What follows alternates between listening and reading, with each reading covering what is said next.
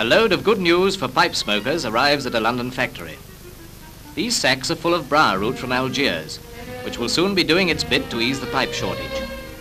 This is the stuff from which all briars are made, but not every piece will do. Mr. Cheriton, whose family has been making pipes for 70 years, selects a straight grain piece which is used for the best quality goods and hands it over to be cut into shape on a circular saw.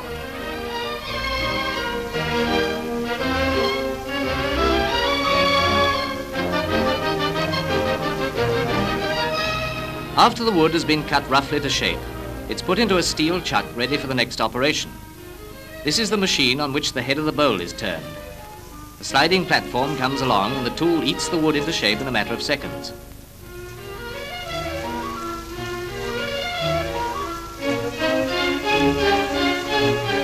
The pipe then goes into another chuck where the stem is turned.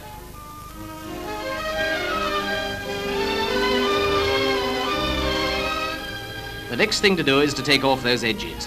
These are fraised away, as they call it, by steel cutters revolving 3,000 times a minute. And now it's really beginning to look like a pipe.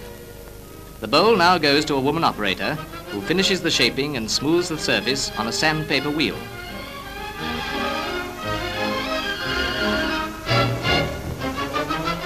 But there's still plenty to be done. The next stage is to polish the bowl on a revolving buff with a mixture of finely powdered pumice stone and oil. After that, a hole is drilled in the stem, ready to be fitted to the mouthpiece.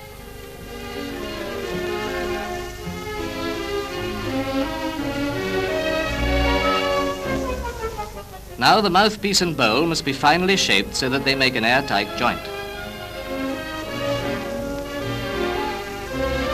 We've nearly reached the final stage in the proceedings. The bowl and mouthpiece are forced together so that the fit shall be exact. And that's all as regard the making.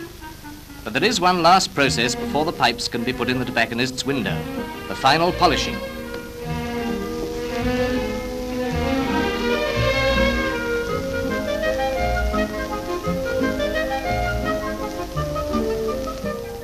The polished pipe, if it's of first quality, is treated with linseed oil to show up the graining.